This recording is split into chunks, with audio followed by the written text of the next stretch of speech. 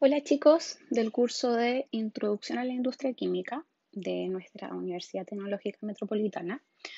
Em, como ustedes saben, este curso de introducción es un curso que es em, coordinado junto con la otra sección que dicta el profesor Isaac Díaz. Por lo tanto, esta primera clase, las diapositivas utilizadas son básicamente las mismas, ¿ya? Eh, vamos a partir esta clase eh, viendo brevemente el perfil de egreso del ingeniero químico de la UTEM, eh, del ingeniero o ingeniera química, el propósito del plan de estudios y el campo de desarrollo profesional, básicamente las áreas donde podrían desempeñarse. Luego vamos a hablar de la industria química, qué es la industria química, evolución de la ingeniería química, y finalmente, industria química y conceptos fundamentales. Eh, veamos entonces, ¿cuál es el perfil de egreso del ingeniero químico de la UTEM? Es un profesional con una sólida formación en ciencias básicas y en ciencias de la ingeniería propias de la especialidad y tiene tres eh, grandes eh, pilares y está habilitado para integrarse efectivamente en equipos multidisciplinarios en las empresas relacionadas con los procesos de transformación físicos, químicos o bioquímicos de la materia, la puesta en marcha, control y optimización de los procesos productivos, la generación del aseguramiento de la calidad de productos, servicios y procesos y también para la investigación, el diseño y el desarrollo de nuevos equipos, productos, servicios y o procesos. ¿ya? Entonces, principalmente yo quiero rescatar que el ingeniero, el ingeniero químico, perdón, o la ingeniera química, eh, sabe y puede participar de procesos de transformación de la materia. Ya es capaz de em, ver que estos procesos estén funcionando de manera adecuada y además de poder optimizarlo. ¿ya? La carrera de ingeniería química que ustedes eh, comenzaron a estudiar este año fue rediseñada el año 2012 eh, y dentro de los antecedentes relevantes se presenta el propósito del plan de estudios a partir del que se desprende la siguiente información que me gustaría compartir con ustedes. El plan estratégico del Colegio de Ingenieros de Chile para los años 2010 y 2020 señala que los grandes temas que impactarían a Chile en estos años serían el medio ambiente, la energía, la innovación tecnológica, la biotecnología y la sustitución de importaciones. Eh, en estos años, eh, del 2010 al 2020, la problemática ambiental dejaría de ser un tema coyuntural y pasaría a ser un aspecto fundamental para, eh, por considerar en cualquier proyecto de carácter productivo. Y hemos visto que esto efectivamente se ha ido dando. ¿Cierto? En este momento estamos en una crisis climática que hace que eh, nosotros como ingenieros químicos tengamos mucho que decir. Em, esta problemática ambiental muchas veces está dada por el cómo llevamos la industria. La industria energética en particular es la que genera mayores gases de efecto invernadero. Em, entonces, nosotros como ingenieros químicos que vamos a ser capaces de, de eh, ver etapa por etapa cómo funciona un proceso y de quizás eh, identificar mejoras en las distintas etapas del proceso, no necesariamente solo al final, que es algo que, ya comentaremos, eh, es súper importante y es trabajo del ingeniero químico en una industria. además, respecto del tema energía, el país deberá desarrollar tecnologías para el uso del biogás, gas, geotermia y otros y por lo tanto el ingeniero químico también podrá desempeñarse en esta área. Por otro lado, la universidad explicita su compromiso en la formación de personas con capacidades tecnológicas, eh, competitivas y comprometidas con el desarrollo sustentable del país en pro de la calidad de vida de sus habitantes. Y el rediseño de la carrera acoge este compromiso. El desarrollo sustentable, que lo vamos a ver también en, en algunas diapositivas más, supone que eh, el desarrollo económico vaya muy de la mano con el, con el cuidado del medio ambiente y también de las comunidades. O sea, nosotros queremos mejorar la calidad de vida de las personas, eh, mejorar em, los productos que, que, ofrecemos al mercado como ingenieros químicos, mejorar la calidad de los productos y eh, de igual forma eh, permitir que, nuestros, que las futuras generaciones eh, vivan en un ambiente por lo menos igual al nuestro, ojalá mejor.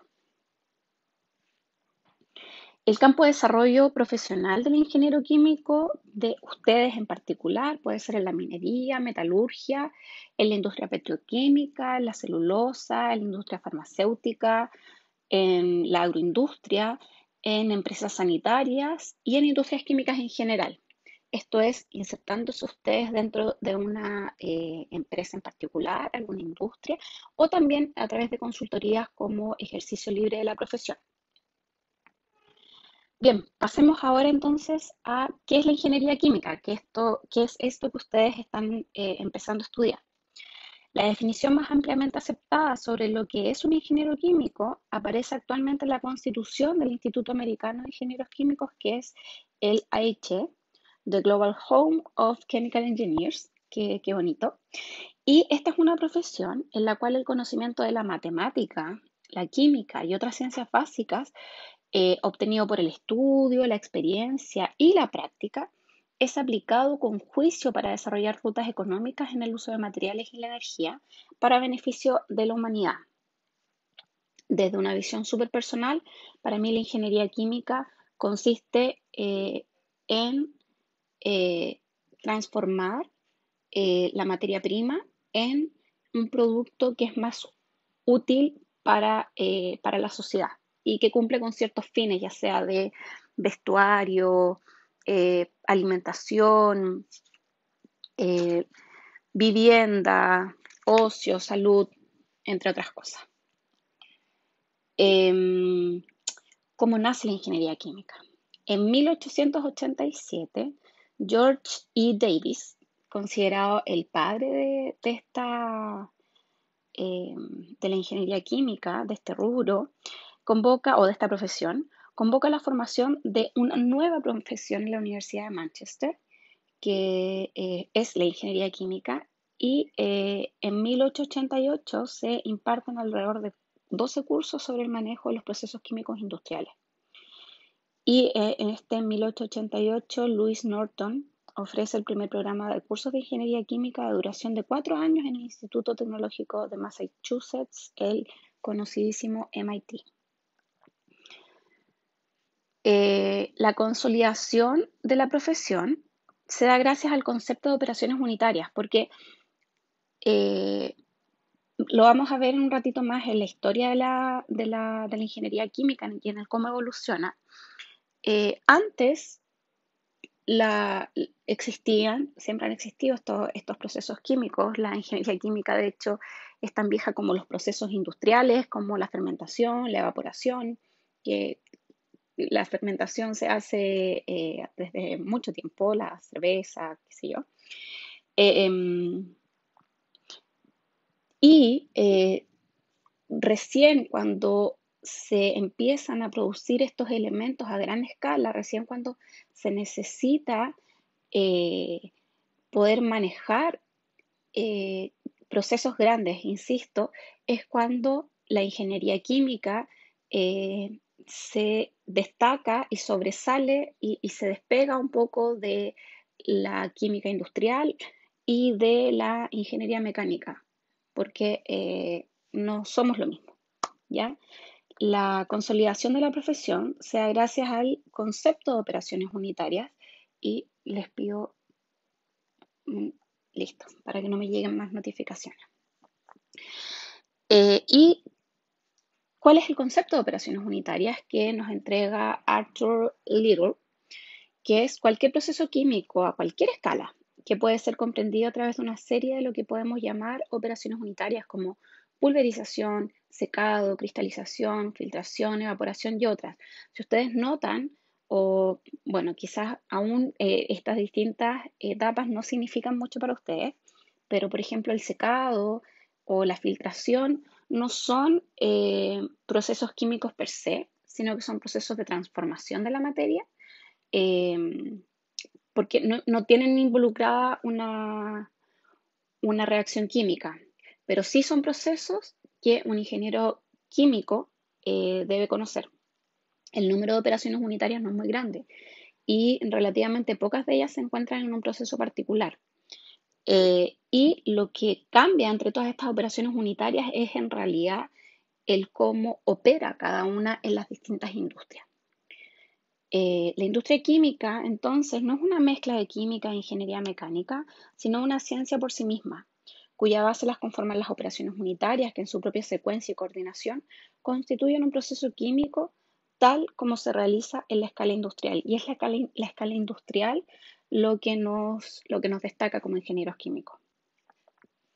Entonces, haciendo como un análisis entre qué es lo que eh, hace un ingeniero químico con otras profesiones quizás un poco más conocidas, que es, por ejemplo, el médico, que, cuyo objeto de estudio es el cuerpo humano y, su propósito es eh, la salud de, eh, de, los seres humanos.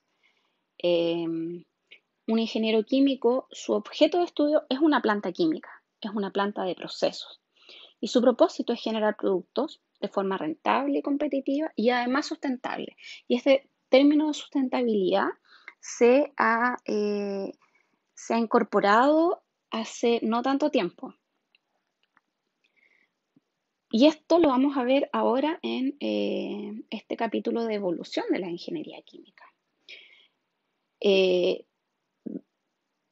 podemos pensar que la, la, química, la ingeniería química, data quizás desde el siglo XIX, donde eh, tenemos la, eh, la química industrial, ya donde a través de ciertos eh, compuestos iniciales se logra un producto final.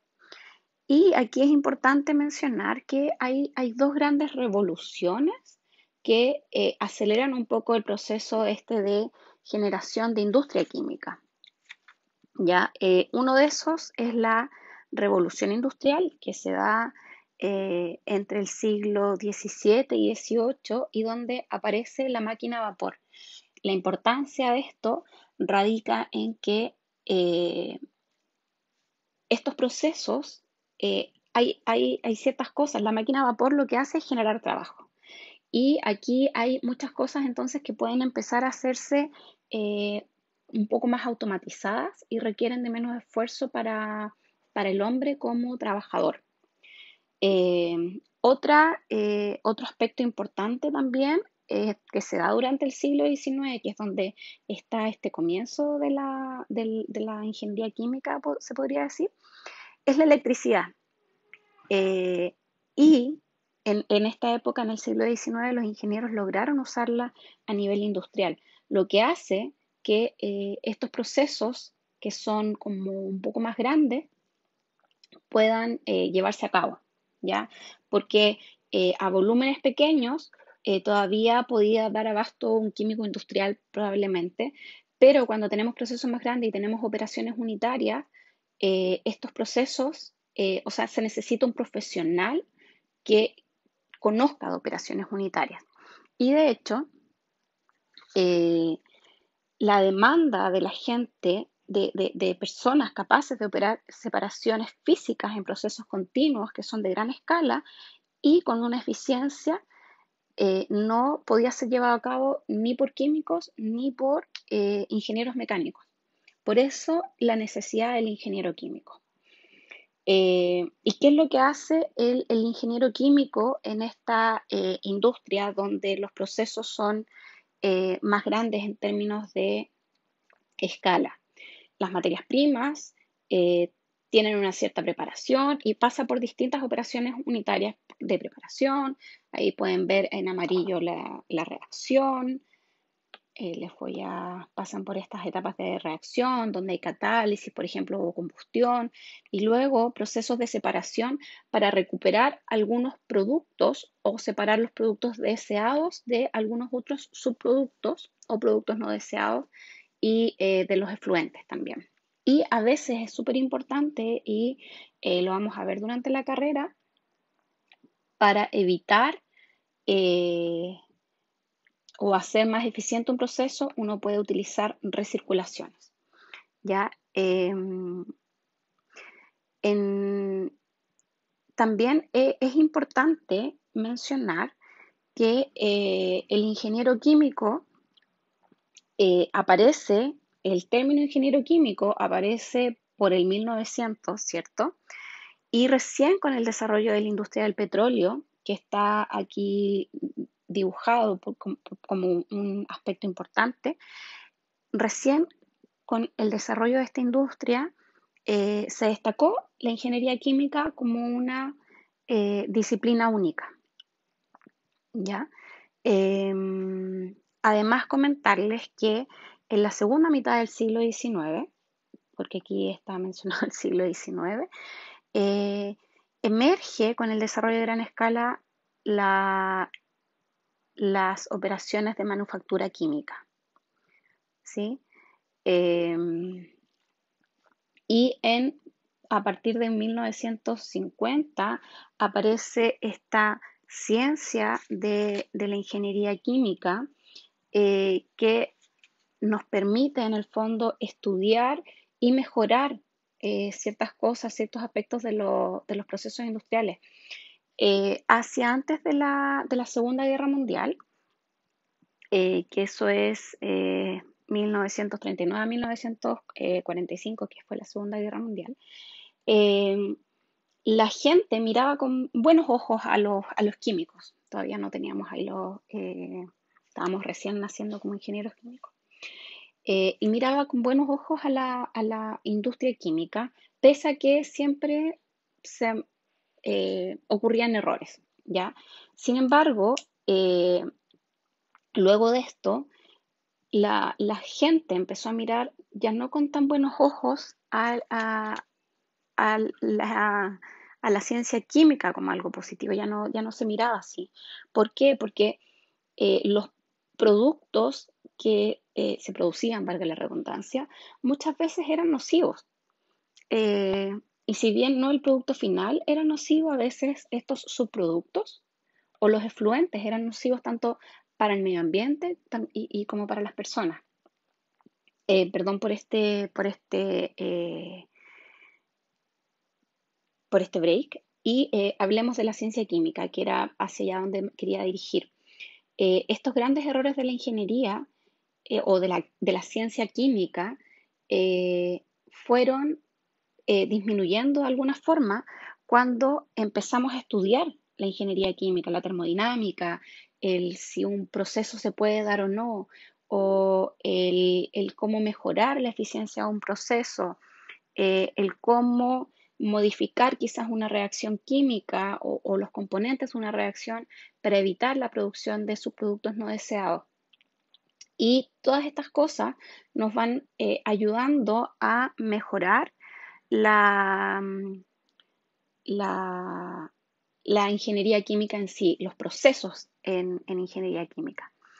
Eh, y me gustaría eh, comentarles que eh, un artículo que les voy a dejar también para que puedan leer, que, actual, que es del 2009, y dice que actualmente la población percibe a la industria química como depredadora de recursos naturales, destructora de la calidad ambiental y peligrosa para la vida.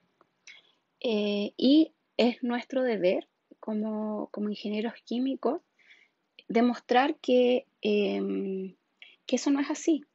Nosotros como ingenieros químicos buscamos eh, mejorar la calidad de vida de las personas, nosotros buscamos a través de estas materias primas encontrar productos que son necesarios para, la sociedad y además buscamos que estos procesos generen la menor cantidad posible eh, de residuos, que utilicen la menor cantidad posible de materias primas y en lo posible eh, utilizar estas recirculaciones del, material para, en el fondo, hacer los procesos lo más eficientes posibles y amigables con el, con el medio ambiente. Y esa es la, visión que eh, nosotros y, una oportunidad también que tenemos como ingenieros químicos de, mejorar nuestros procesos. Eh, aquí me gustaría eh, hacer énfasis en que, lo voy a, repetir más adelante, pero llegó un momento y, que tiene que ver con esta visión que tiene la sociedad sobre nosotros, sobre estos depredadores de recursos naturales, y es porque inicialmente eh, nosotros queríamos producir combustibles o productos químicos sin eh, preocuparnos de eh, ninguna restricción, no teníamos restricciones. Lo que nos interesaba era producir productos nuevos y combustibles y esto fue hacia el siglo XIX, y no teníamos restricciones ni de dinero ni de recursos naturales.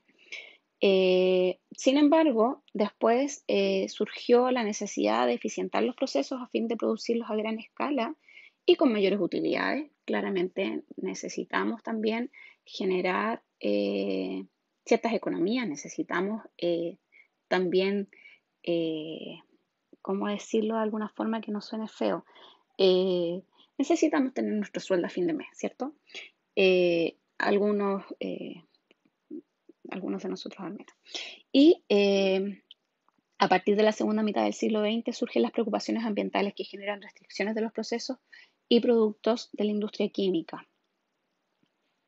estas restricciones ambientales en términos de tenemos que preocuparnos de controlar cuáles son las emisiones que, estamos, eh, que están teniendo nuestros procesos. Y aquí me devuelvo hacia esta parte del proceso. Eh, este es un proceso más o menos lineal, claramente es una, caricatura, eh, es una simplificación bastante gruesa. Y cuando nos empezamos a preocupar de nuestros productos, y de los subproductos que podrían ser mm, dañinos para el medio ambiente, empezamos aquí a incorporar hacia el final del proceso algunas etapas de, eh, qué sé yo, absorción de gases, filtraciones, para evitar eh, emitir hacia el medio ambiente ciertos contaminantes. Sin embargo, eh, el paradigma de ahora es mirar este proceso y quizás ya no seguir produciendo este producto deseado de la misma forma en que se ha hecho por años, sino que ir mejorándolo. Em, ir quizás eh, cambiando estas etapas de preparación o, estas materias primas que involucran eh, cierto daño final, eh, ir cambiándolo de manera de tratar de producir la menor cantidad posible de residuos y poder de alguna forma cumplir con estas restricciones ambientales.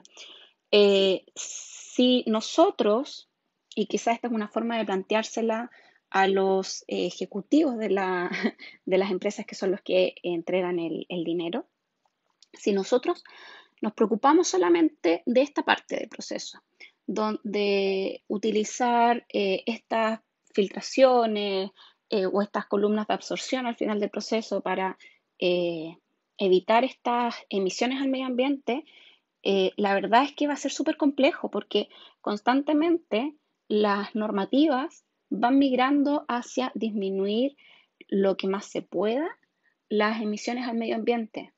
Y cuando uno no es capaz de, eh, disminuir las emisiones, bueno, por una parte, disminuir las emisiones implica aquí en este proceso, si ocupamos el mismo proceso, implica aquí en esta etapa reforzar las, eh, las etapas que estamos utilizando, quizás agregar etapas nuevas, eh, o pagar, por otro lado, eh, multas de, de, las entidades correspondientes porque estamos emitiendo contaminantes hacia el medio ambiente. Eso es súper importante. Entonces, eh, y, por ahí va a ir de la mano con, esto que aquí dice que es la sustentabilidad, y lo vamos a mencionar de nuevo en un ratito. Y antes de terminar esta diapositiva, me gustaría comentarles que el desarrollo de la computación ha hecho, eh, ha entregado un, gran impulso a la ingeniería química, porque ahora podemos resolver de manera más sencilla eh, cálculos súper tediosos.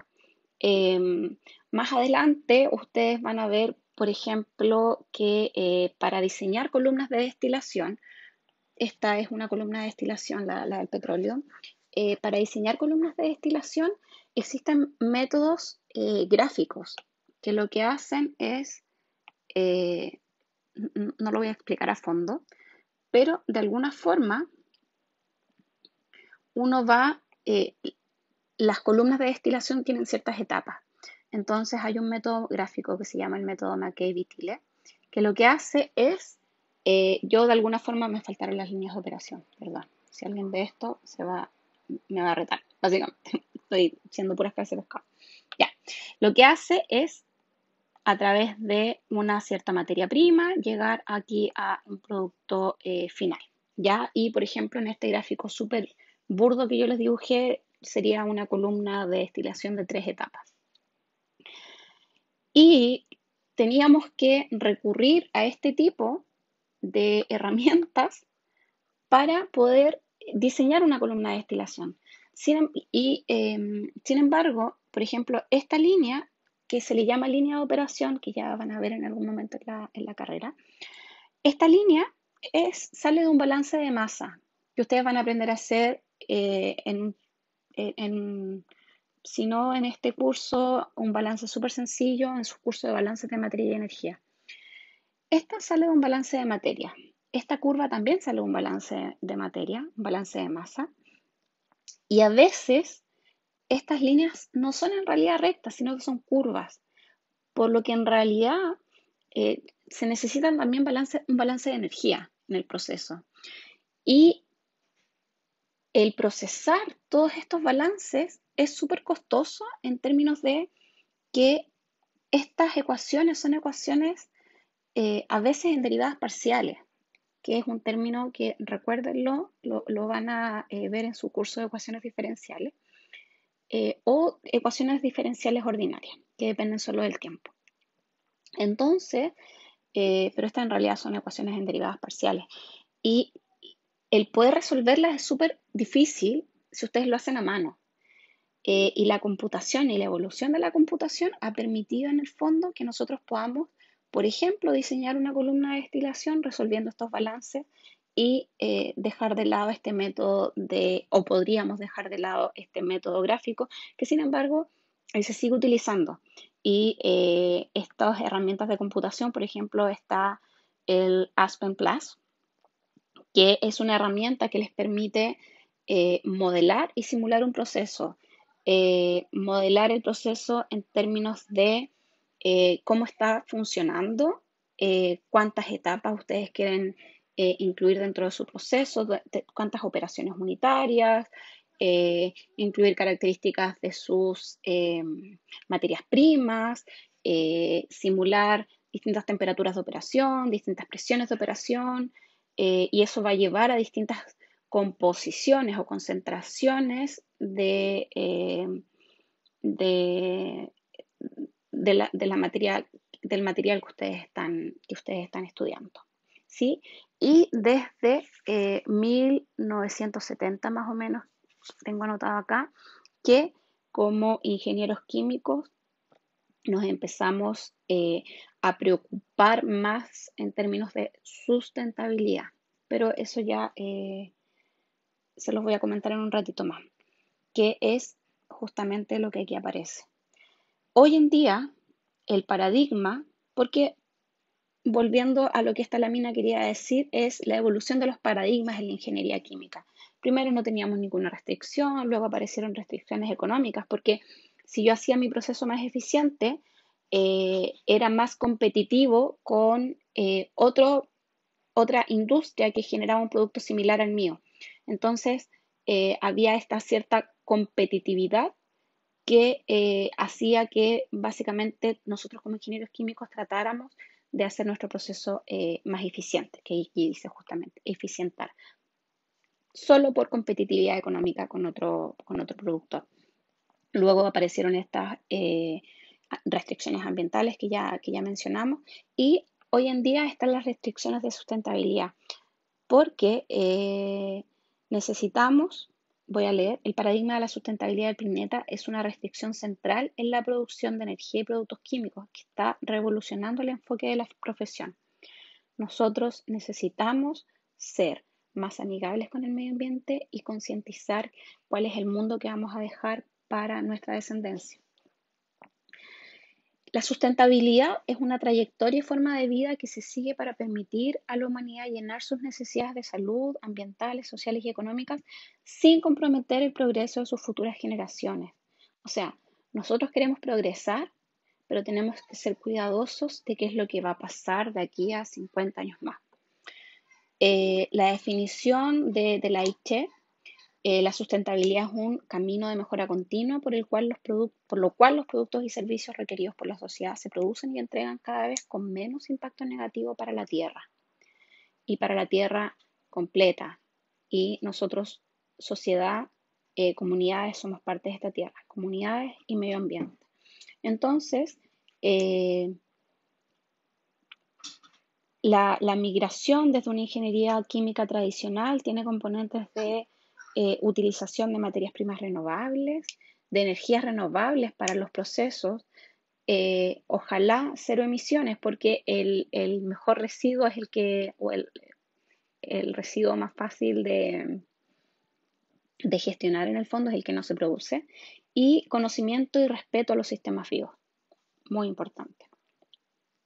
Y aquí me gustaría eh, despegarme un poco de, de lo que, o, incorporar eh, a estas diapositivas que preparó el profesor Isaac, eh, objetivos de desarrollo sostenible, que me parece que como ingenieros químicos es importante que los conozcamos. En septiembre del 2015, Chile, como parte de los 193 países miembros de la Organización de las Naciones Unidas, adoptó la Agenda 2030 para el Desarrollo Sostenible. Y este es un plan de acción en favor de las personas, el planeta y la prosperidad que tiene por objeto fortalecer la paz universal dentro de un concepto más amplio de la libertad. Eh, y aquí yo les dejo dos links. Uno es eh, hacia el, desarrollo sostenible eh, a la página de, las Naciones Unidas y otro que tiene que ver, y, ahí en el fondo en, en, ese link van a poder ver cuáles son estos 17 objetivos de desarrollo sostenible sostenible y qué significa cada uno. Y en ONU.cl, que es la segunda dirección que está acá, eh, está el cómo se ha comprometido Chile en estos 17 Objetivos de Desarrollo Sostenible. Y en esta clase a mí me gustaría eh, identificar de todos estos 17 cuáles son los que nosotros como ingenieros químicos podemos aportar en mayor medida. Los voy a leer los 17 para que al menos los escuchen una vez. El objetivo 1 es fin de la pobreza. El 2, hambre cero. 3, salud y bienestar. 4, educación de calidad. Que por eso también estamos, eh, y yo estoy aquí grabando esta clase porque a mí me importa entregarles eh, lo mejor posible para su formación. ¿ya? Y, yo quiero motivarlos en el fondo con esta carrera que yo encuentro que es maravillosa. Eh, objetivo 5, igualdad de género. Objetivo 6, agua limpia y saneamiento. Y ojo que estos son, eh, eh, son a nivel mundial, ¿ya? y quizás nosotros pensemos que como vivimos en la ciudad, esto no nos toca, pero hay un montón de ciudades y hay un montón de gente aún en la ciudad, acá en Chile, acá en Santiago, que no tiene acceso a agua limpia, lo cual es terrible considerando la pandemia en la cual estamos viviendo. Eh, el objetivo 7 es energía asequible y no contaminante. El objetivo 8, trabajo decente y crecimiento económico.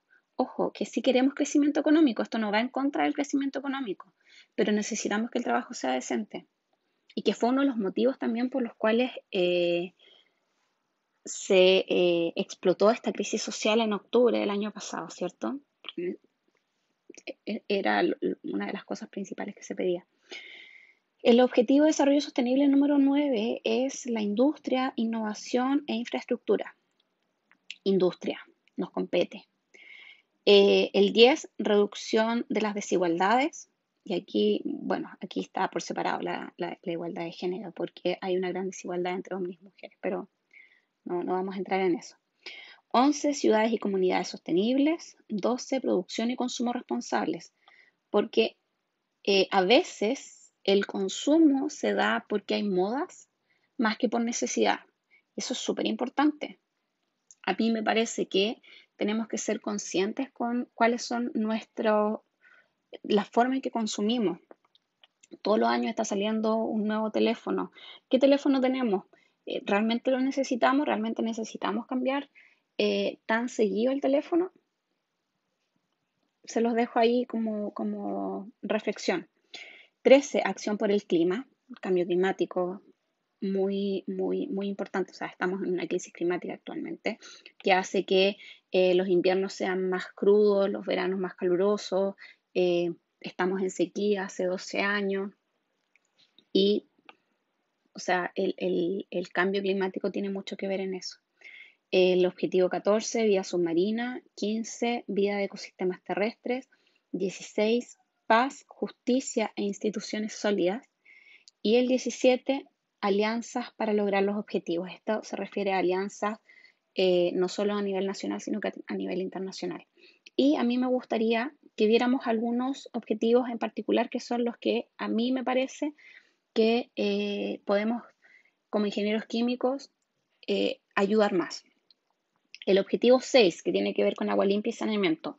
Y voy a leer todo lo que aparece, esto aparece en la página de la ONU. El agua libre de impurezas y accesible para todos es parte esencial del mundo que queremos vivir. Hay suficiente agua dulce en el planeta para lograr este sueño. Sin embargo, actualmente el reparto del agua no es el adecuado y para el año 2050 se espera que al menos un 25% de la población mundial viva en un país afectado por escasez crónica y reiterada de agua dulce. La sequía afecta a algunos de los países más pobres del mundo, recrudece el hambre y la desnutrición, estos efectos de la sequía, nosotros ya tenemos en el país algunos lugares donde eh, la gente no tiene acceso al agua diaria, que, eh, donde eh, semanalmente pasan camiones aljibe cerca y, esa es el agua que tienen para vivir. Esa escasez de recursos hídricos, junto con la mala calidad del agua y el saneamiento inadecuado, repercuten en la seguridad alimentaria, perdón, los medios de subsistencia y la oportunidad de educación para las familias pobres en todo el mundo. Afortunadamente se han hecho algunos avances en esta última década y más del 90% de la población mundial tiene acceso a fuentes de agua potable mejoradas. Para mejorar el acceso a agua apta para el consumo y el saneamiento y la gestión racional de los ecosistemas de agua dulce entre las comunidades locales en varios países en desarrollo del África subsahariana, Asia Central, Asia Meridional, Asia Oriental y Asia eh, sudoriental. Y estos eh, objetivos de desarrollo sostenible incluyen en realidad metas. Esto era solo una introducción. Y eh, no recuerdo cuántas metas tiene este objetivo 6, pero destaqué dos que me parece que como ingenieros químicos nos toca y podemos, podemos poner nuestro granito de arena que dice mejorar la calidad del agua reduciendo la contaminación, eliminando el vertimiento y minimizando la emisión de productos químicos y materiales peligrosos, reduciendo a la mitad el porcentaje de aguas residuales sin tratar y aumentando considerablemente el reciclado y la reutilización sin riesgos a nivel mundial. Reciclado, reutilización. ¿Se acuerdan que yo eh, hace en unas diapositivas atrás, que fue la que más me detuve, hablaba mucho de la recirculación? Probablemente acá el reciclado se refiere a reciclado de productos sólidos o, de desechos sólidos, pero a mí me parece que también dentro de un proceso nosotros somos capaces como ingenieros químicos probar tecnologías y proponer ciertas recirculaciones dentro de un proceso que ya existe. Eh, y principalmente es importante, estas aguas residuales hay que tratarlas. Nosotros como ingenieros químicos eh, podríamos estar trabajando en una planta de tratamiento del agua antes de que ésta sea vertida al riachuelo cercano a un lago, una laguna, eh, un canal, de regadío, por ejemplo. Por lo tanto, es importante que nosotros aprendamos sobre el cómo tratar las aguas residuales. Todas estas operaciones unitarias que están involucradas en una planta de tratamiento de aguas residuales eh, y hacer que estas funcionen de la mejor manera posible. Quizás nosotros como ingenieros no vamos a estar operando la planta, hay operadores de planta, pero es importante que nosotros como ingenieros les enseñemos al operador cuándo eh, mover una válvula, por ejemplo, quizás lo estoy diciendo de manera muy burda, pero es importante que nosotros también los hagamos parte de cómo mejorar el funcionamiento de esta planta. Y esto se hace verificando ciertos parámetros de producción que ya ustedes van a ver más adelante en la carrera. Eh, y es importante también hacerlos parte de, qué significa lo que están haciendo. Eh, y esto yo se los digo porque, entre paréntesis, eh, cuando estudié ingeniería, yo tuve que hacer tres prácticas y mi última práctica fue en una planta de tratamiento de agua en una planta productora de papel. Entonces, eh, yo como también estudié biotecnología, eh, me hicieron eh, estudiar el reactor biológico, que el, forma parte del, tratamiento secundario de, la planta. ¿ya? Yo sé que de repente hablo cosas que quizás, o introduzco conceptos que quizás no, manejen, pero es importante que los empiecen a escuchar. Entonces, este, esta planta biológica eh, no estaba funcionando del todo bien y eh, básicamente lo que yo hice fue entender cuáles eran los parámetros importantes y enseñarle a los operadores cuáles eran, eh, cuál era la importancia de mantenerlos en un cierto nivel para que ellos operaran mejor la planta. Y ellos eran secos operando la planta, súper buenos, súper buenos trabajadores y se tomaban en serio su trabajo. Eh, pero habían cosas que no sabían y me parece súper importante que los hagamos parte de, del por qué se hacen las cosas. Bien, cerrando este paréntesis. El objetivo 6.4 eh, dice aumentar considerablemente el uso eficiente de los recursos hídricos en todos los sectores y asegurar la sostenibilidad de la extracción y el abastecimiento de agua dulce para hacer frente a la escasez de agua y reducir considerablemente el número de personas que sufren falta de agua. Y aquí me, parece importante esto, asegurar la sostenibilidad de la extracción y el abastecimiento de agua dulce. La, la industria química la, necesita abastecerse de agua para distintos procesos. Eh, y como ingenieros químicos es nuestra labor eh, evitar que, por ejemplo, saco agua de, de la red de agua potable, no sé, y después la descargo a un río. Cosas tan importantes como preocuparnos que la temperatura del agua sea lo más similar posible a la temperatura de este río al que yo hago el descarte, produce un gran cambio. Pero aquí estamos hablando de eh, la sostenibilidad de la extracción. Entonces quizás yo podría reutilizar esa agua en otro proceso, eh, existen redes de intercambio de calor, que lo que hacen es que un fluido frío se pone en contacto con un fluido eh, caliente y ambos varían su temperatura y esto me sirve, por ejemplo, para calentar una corriente o para enfriar una, una corriente. Si yo pongo en contacto, o sea, ese mismo contacto entre un fluido frío y un fluido caliente hace que una corriente se caliente y la otra se enfríe. Entonces, podemos disponer y, estos, estos, contactos se necesitan eh, varias veces dentro de un proceso posiblemente. Entonces, busquemos una forma eh, inteligente de hacer esa utilización para disminuir esta extracción del agua que se utiliza y del agua dulce sobre todo, que es la que eh, más necesitamos nosotros. el objetivo de desarrollo sostenible 9 dice, eh, tiene que ver con la industria, innovación e infraestructuras. Lo voy a leer. Desde hace tiempo se reconoce que para conseguir una economía robusta se necesitan inversiones e infraestructura. Transporte, regadío, energía, tecnología de la información y de las comunicaciones. Estas son fundamentalmente para lograr un desarrollo sostenible, empoderar a las sociedades de numerosos países, fomentar una mayor estabilidad social y conseguir sus ciudades más resistentes al cambio climático. El sector manufacturero es un impulsor importante del desarrollo económico y del empleo. Lo sabemos. En la actualidad, sin embargo, el valor agregado de la industrialización per cápita es solo de 100 dólares en los países menos desarrollados en comparación con más de 4.500 dólares en Europa y América del Norte. Otro factor importante, y, ojo que quizás esto está relacionado de alguna forma con eh, lo que vimos en las primeras diapositivas que tenía que ver con el perfil de egreso eh, de ustedes. La, y, la voy a, la voy a eh, recuperar. Sustitución de importaciones. ¿ya? produzcamos local, en otras palabras.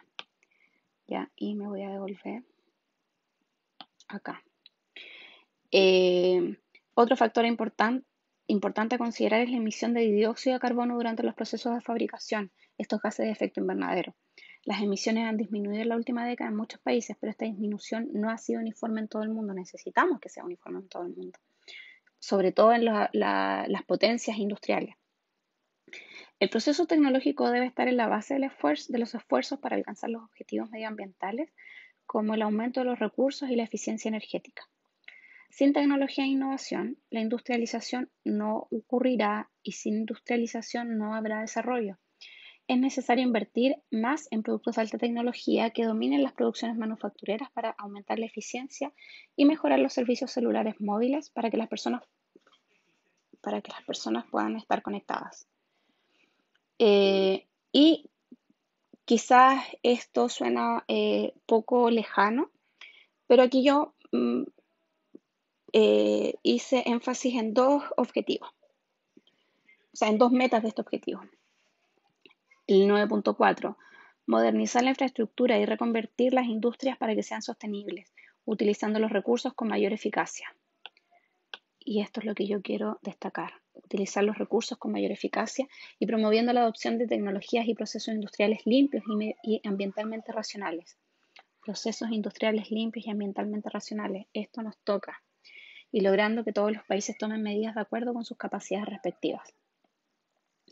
Y este, aumentar la investigación científica y mejorar la capacidad tecnológica de los sectores industriales de todos los países, en particular los países en desarrollo, entre otras cosas fomentando la innovación y aumentando considerablemente de aquí al 2030 el número de personas que trabajan en investigación y desarrollo por millón de habitantes y los gastos de los sectores público y privado en investigación y desarrollo. Claramente, y quizás no se ve, eh, no, le pega directamente la industria química, pero si ustedes se fijan con esta pandemia, eh, hemos de alguna forma eh, nos hemos contactado más con, la, con el mundo científico.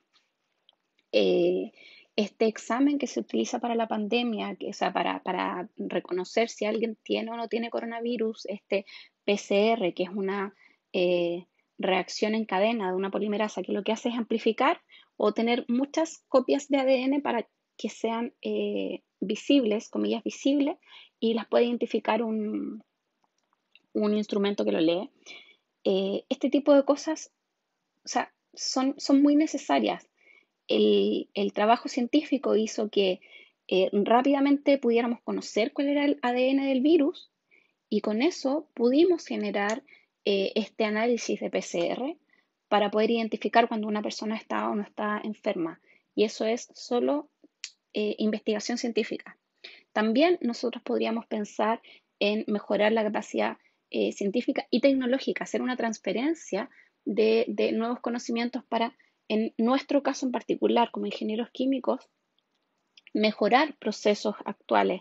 Quizás queremos producir el mismo producto, pero podemos buscar formas de hacerlo de, formas distintas eh, que generen menos residuos y que también sean, eh, no lo he mencionado hasta ahora, pero también es importante que, sean seguros para los trabajadores.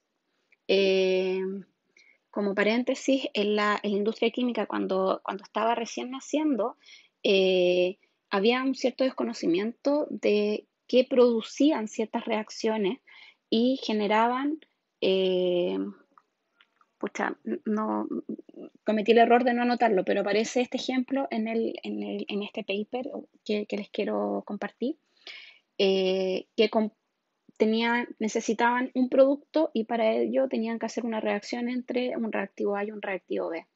Y resulta que, además del producto deseado, se producía otro producto que era sumamente nocivo para los trabajadores. Entonces una forma de solucionarlo fue, chuta, hagamos una, algo así como una eh, campana de extracción súper larga, entonces estos gases ya no van a quedar eh, en, en nuestra planta, ya no van a quedar a la altura de los trabajadores, sino que va a salir hacia el exterior. Pero chuta, ahí en realidad pasamos de cuidar a nuestros trabajadores de alguna forma a afectar a las comunidades cercanas que recibían este, estos gases. ¿Ya? Entonces, eh, con eso cierro, cierro este paréntesis. Necesitamos, en el fondo, mejorar estas formas de producir eh, porque eventualmente para producir ese producto que se requería, eh, se encontró otra metodología que era mucho más amigable tanto con los trabajadores como con las comunidades y el medio ambiente. El objetivo de desarrollo 12, que tiene que ver con la producción y consumos responsables.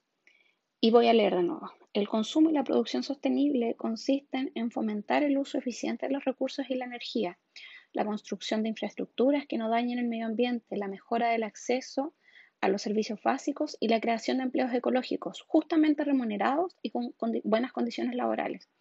Todo ello se traduce en una mejor calidad de vida para todos y además ayuda a lograr planes generales de desarrollo que rebajen costos económicos, ambientales y sociales, que aumenten la competitividad y que reduzcan la pobreza.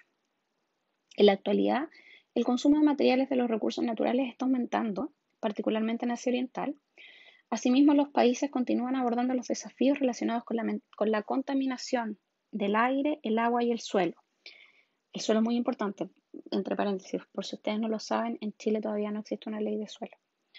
El objetivo del consumo y la producción sostenibles es hacer más y mejores cosas con menos recursos. Y ahí resalto menos recursos. Se trata de crear ganancias netas de las actividades económicas mediante la reducción de la utilización de los recursos, la degradación y la contaminación, logrando al mismo tiempo una mejor calidad de vida. muchas veces esto también se traduce en mejoras económicas. A veces ustedes ocupan menor materia prima y eso hace que la empresa gaste menos en materia prima. Y eso es súper relevante. De hecho, eh, un compañero de ustedes que me tocó eh, leer su trabajo de, titulación, eh, encontró en una empresa X que ocupaba pintura. Y en, este proceso de pintar, el equipo que vendían, generaban un, un, contaminante para el medio ambiente, un líquido contaminante para el medio ambiente.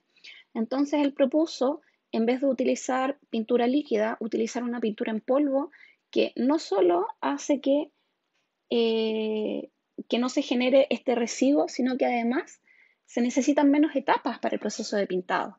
Y eso es súper relevante, o sea, hay, una, hay un beneficio para el medio ambiente claramente, pero también hay un beneficio económico. Entonces, es súper bueno que nosotros como ingenieros químicos nos preocupemos de si quizás quiero el mismo producto, veamos, busquemos formas de que eh, el, de un proceso mejor para el mismo producto. Eh, y creo que me quedé por acá. Se necesita además adoptar un enfoque sistémico y lograr la cooperación entre los participantes de la cadena de suministro, desde el productor hasta el consumidor final consiste en sensibilizar a los consumidores mediante la educación sobre los modos de vida sostenibles, facilitándoles información adecuada a través del etiquetaje y las normas de uso, entre otros. Y aquí eh, destaqué varios, eh, varios eh, objetivos y metas. Lograr la gestión sostenible, uso eficiente de recursos naturales.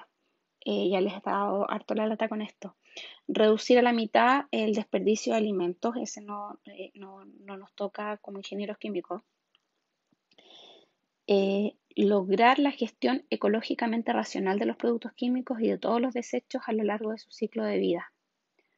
Ahí están los productos químicos, de conformidad con los marcos internacionales convenidos y reducir significativamente su liberación a la atmósfera, el agua y el suelo, a fin de minimizar sus efectos adversos en la salud humana y el medio ambiente. Yo no sé si ustedes saben, pero eh, desde hace algún tiempo está disponible la, o sea, está vigente la ley REP, que consiste en la responsabilidad extendida del productor. Por ahora son pocas las industrias que, realmente pueden eh, trabajar con respecto a esto.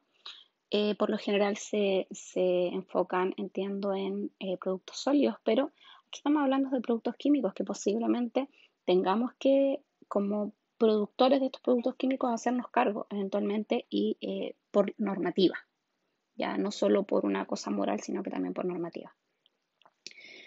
Eh, otra meta es eh, reducir considerablemente la generación de desechos mediante actividades de prevención, reducción, reciclado y reutilización.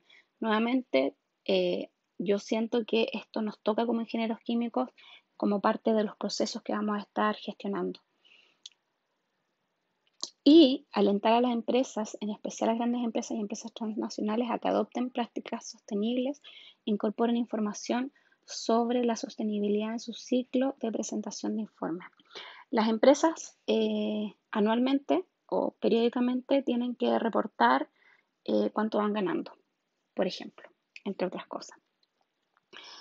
Y existe algo que se llama los GRI, que es una metodología, quizás, eh, para hacer informes de sostenibilidad. Entonces, le dicen a la empresa el cómo eh, mostrar sus avances en términos de, sostenibilidad o sustentabilidad. ¿ya?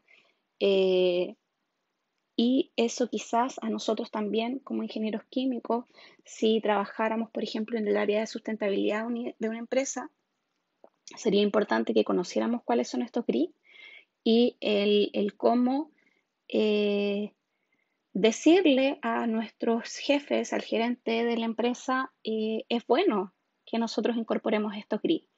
Eh, no solo como beneficio económico, que por ahí uno siempre tiene que tratar de, buscar, eh, sino también eh, mostrarle a la sociedad lo bien que lo estamos haciendo y, eh, y como un objetivo de efectivamente hacer lo que decimos que estamos haciendo, que estamos siendo amigables no solo con el medio ambiente, sino que también con la sociedad. y Finalmente me quedan unas cinco diapositivas. Voy a tratar de, eh, entiendo que ya me he extendido un poco en, esta clase, pero es importante eh, tener algunos conceptos fundamentales de la industria química. Eh, la industria química es una industria que transforma física y o químicamente. aquí hablamos de cambios de composición, contenido energético, separación física, entre otros. Las materias primas provenientes de diversas fuentes hasta obtener productos finales útiles que demanda el mercado, que demanda la gente. Por lo tanto, la ingeniería química tiene por objeto el estudio de procesos involucrados a escala productiva. No es a una escala pequeñita como eh, antes de la, de la Segunda Guerra Mundial, sino que una escala más masiva. Ya, y por aquí pueden ver el proceso de, el proceso de eh, producción de petróleo. Aquí está la, eh, columna de destilación, em, que esto se va a un separador de gas y petróleo, a un depósito, estación de bombeo. Y estas, si ustedes se fijan, son distintas operaciones unitarias dentro del proceso y que esto después va, eh, se producen estos distintos productos. Gases ligeros, aceites lubricantes, gasolina, esencias especiales, eh, gasóleo como combustible para motores diésel, querosén bruto para los aviones, petróleo diésel para los trenes, brea y alquitrán para, caminos. ¿sí? Esos son distintos productos que se obtienen de, este proceso. La mayor parte de los productos de la vida diaria son el resultado de transformaciones industriales, de estos procesos que, hemos estado comentando, que se realizan a gran escala en plantas químicas, en las que se llevan a cabo operaciones de naturaleza física o química. Entonces aquí ingresan las materias primas, atraviesan una serie de transformaciones físicas y químicas y se obtienen productos, subproductos y efluentes. Con efluentes, eh, por lo general, se hace referencia a eh, corrientes líquidas que van a, se disponen o al alcantarillado o a un río o a alguna fuente de, agua natural. Y eh, durante este proceso se hace un intercambio con el medio en el que está la planta de calor y de trabajo. Ya eh, esto no necesariamente, eh, esto se traduce en consumo de energía, por ejemplo, consumo de energía eléctrica. Y nosotros, como ingenieros químicos, necesitamos hacer un análisis del proceso eh, para conocer si estas restricciones impuestas por la naturaleza, por ejemplo, la ley de conservación de la energía, si ustedes a un proceso X alimentan 100 kilogramos por hora de agua y alimento 20 kilogramos por hora de azúcar, porque quiero hacer agua con azúcar, voy a producir 500 kilogramos por hora. Si yo tengo 100 kilogramos y le sumo 20, en realidad voy a producir 120, no van a salir 500. Entonces, dentro de un análisis de proceso, eso es lo que yo hago. Y les presento, acabamos de hacer un balance de materia. Entonces, ¿qué es un proceso? Es el conjunto de operaciones físicas o químicas, como ya hemos mencionado, necesarias para modificar las características de las materias primas. Nosotros tenemos una materia prima y queremos que sea un producto útil que demanda el mercado. Eh, en general, los procesos que se estudian en la industria química u otras afines pueden representarse como un, esto es algo así como un diagrama de bloques. Tenemos flujos de entrada, tenemos flujos de salida y este proceso eh, es donde el sistema eh, eh, donde el sistema interactúa con, el ambiente y se, se, efectúan ciertos balances, como el balance de materia que acabamos de hacer. Estos procesos pueden ser batch, que es que uno voy a seguir con el ejemplo del agua y el azúcar. Por ejemplo, yo puedo echar agua, azúcar a un estanque, eh, lo dejo ahí un rato, que se mezcle con este mezclador y después lo retiro. En un proceso batch no hay entradas ni salidas mientras ocurre el proceso. En un proceso continuo, en cambio, eh, la, materia prima va ingresando constantemente en el tiempo y va saliendo constantemente. Ya, ese es un proceso continuo y un proceso no estacionario donde, por ejemplo, aquí tengo este tanque que tiene una cierta cantidad eh, de agua y se va vaciando. Este es un proceso eh, donde, si ustedes se fijan, no está ingresando agua, solo está saliendo. Esto es un proceso semi-estacionario. O, perdón, un proceso no estacionario, un proceso semi-batch o semi-continuo, que es una mezcla de los dos. Porque este tiene corrientes de entrada y salida, este no tiene corrientes de entrada y salida mientras está funcionando el proceso. Finalmente, estos procesos se pueden, eh, se pueden clasificar de acuerdo con su dependencia en el tiempo. Los procesos estacionarios, todas estas variables de proceso que yo mencioné un poquito mientras estábamos en la clase, que son temperatura, presión, eh, velocidad, flujo másico, flujo volumétrico, entre otros, no cambian con el tiempo de operación el proceso estacionario, eh, ustedes van a ver que la materia prima idealmente es constante en el tiempo, tiene siempre la misma composición, siempre la misma temperatura. Eso en realidad no pasa, pero uno puede asumir, modelar el proceso como que así está pasando. Y el producto final sale a una cierta temperatura, a una cierta eh, presión, con un cierto flujo volumétrico y con una cierta composición. Eh, por composición me refiero a una cierta concentración del azúcar en el agua, por ejemplo. Y un proceso no estacionario, las variables del proceso no son constantes durante la, operación del proceso, eh, van cambiando. Eh, y aquí un ejemplo súper concreto es, por ejemplo, la... Eh, pucha, yo estudio biotecnología, entonces lo único que se me ocurre es la eh, producción o el crecimiento de alguna bacteria dentro de un reactor. Ustedes colocan una cierta cantidad de, de bacteria, un inóculo que se le llama, en un reactor, lo cierran eh, y lo, colocan el reactor con una eh, con materia prima de con un alimento, ya glucosa, por ejemplo. Y eh, durante el tiempo que transcurra esto, la cantidad de glucosa dentro del reactor va a ir disminuyendo porque se lo va a ir comiendo la bacteria y la bacteria va a ir creciendo, va a ir, va a ir aumentando la cantidad de bacterias en ese reactor, ¿ya? Y entonces, en realidad, lo que ustedes podrían ver si hacen un gráfico es que la bacteria va a ir creciendo de alguna forma y la cantidad de alimento o glucosa va a ir disminuyendo. ¿Sí? Y esto es en el tiempo y esto es concentración. ¿Sí? O cantidad. Entonces, en el tiempo va disminuyendo. En cambio, en un estado estacionario, si yo mido, por ejemplo, una concentración, se mantiene constante en todo el tiempo. ¿Ya? Bien, y con eso terminamos esta clase de hoy. Eh, yo creo que nos vemos en un próximo video, ojalá en una clase eh, en línea. Que estén súper bien. Chao, chao.